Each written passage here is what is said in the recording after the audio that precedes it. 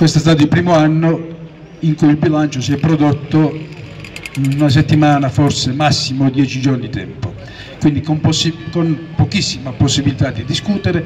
soprattutto delle, dire, delle possibilità di suggerire soluzioni alternative, perché è su questo che poi bisogna porre l'attenzione.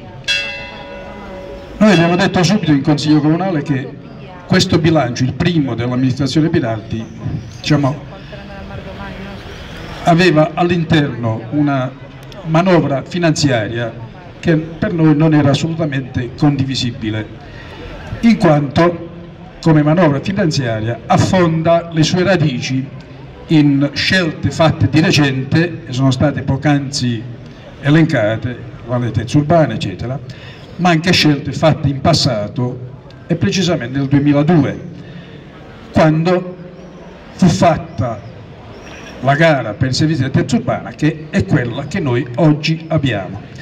Quindi una gara che ha prodotto dei grossi guasti, dei grossissimi costi, oggi il comune di Casamassima spende circa 3 milioni di euro per avere un servizio che lascio a voi giudicare. Per cui proprio per questo motivo non ci poteva vedere questo bilancio, questa manovra finanziaria consenzienti per cui abbiamo, siamo stati costretti a votare contro. Una spesa per i servizi delle terze urbane che assorbe un terzo del bilancio del comune di Casamassima. Quindi quando abbiamo evidenziato questo aspetto, il sindaco in consiglio ha detto, dice, io stamattina ho redarguito il titolare dicendogli che non ti pago più. E gli ho detto, evidentemente Mazze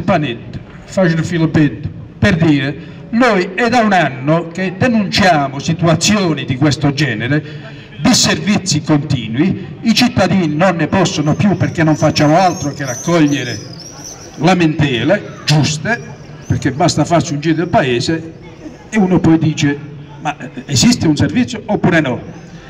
Vi racconterò che il, il comandante della polizia urbana di un comune del, della Romagna un anno e mezzo fa,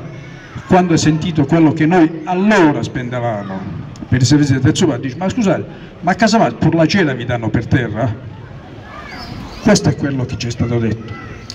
In Consiglio Comunale, quando si è trattato l'argomento della nuova gara, abbiamo chiesto al signor Selleri, ma perché a Bologna si paga la metà e tu qua ci vuoi far pagare il doppio di quello che di là si spende? Comunque le risposte sono state molto vaghe stato, è stato fatto riferimento a costi, a famigerati costi standard,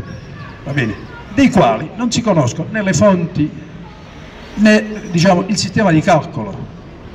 Io diciamo, mi occupo spesso di problematiche di questo genere e so che i costi standard sono costi rilevati da nord a sud della nazione, bene, alla fine diventano costi medi. Ma voglio dire, come costi medi al loro interno hanno spazi di manovra di ulteriore riduzione, cioè un costo medio prevede, stabilisce o prende in considerazione chi spende troppo e chi spende poco. Alla fine si fa la media, ma dalla media a chi spende bene, e noi di esempi in Italia e anche molto vicino a noi, quindi cittadini virtuosi che hanno un ottimo servizio e che spendono molto meno, di questi esempi ne teniamo tanti come è stato detto poc'anzi, evidentemente noi siamo un paese ricco, ci possiamo permettere il lusso di regalare i soldi. Dicevo, in Consiglio Comunale ovviamente è stato detto, vabbè ma voi criticate, abbiamo ribadito che i tempi erano stati molto ristretti che, che quindi c'era stata negata la possibilità di fare delle proposte concrete e alternative, ma nonostante ciò raccogliendo l'invito del consigliere Pignataro abbiamo fatto anche delle proposte. E quando parliamo di proposte parliamo di proposte alternative alle entrate, cioè alla tassazione. Perché poi giustamente uno mi può rispondere ma voi dite di non tassare ma come dobbiamo far fronte alla spesa? E quindi abbiamo dato dei suggerimenti ma così venuti fuori nel giro di 5 minuti abbiamo fatto riferimento per esempio al famoso diritto di superficie. Lo Stato anni addietro ha stabilito che gli enti pubblici possono alienare i propri beni. Allora noi a Casa Massima abbiamo centri commerciali e cooperative che insistono su aree con diritti di superficie. Il governo allora fece una legge e dette la possibilità ai comuni di alienare questo bene immateriale che andrà a consolidarsi fra 80-90 anni eccetera.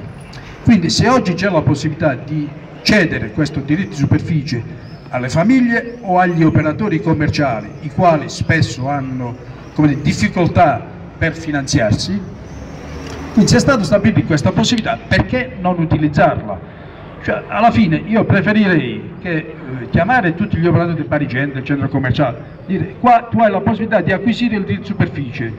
queste sono le tariffe, le potremmo anche rivedere, ma qui ci servirebbe ad evitare tutta questa, so questa sorta di tassazione a carico delle famiglie.